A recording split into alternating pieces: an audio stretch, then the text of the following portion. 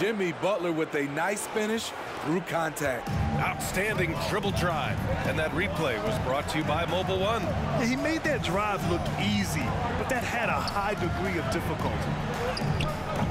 Offensive rebound. About seven seconds separating the shot and game clocks. Oh, Jokic with a block. If you can, use up the clock en route to the last shot. But you know, this is where your patience is tested. If you shoot too quickly, you give your opponent a chance to close out the quarter. Nice move to get inside and create a good look for himself. Here's Arenas. Two on the clock. And blocked.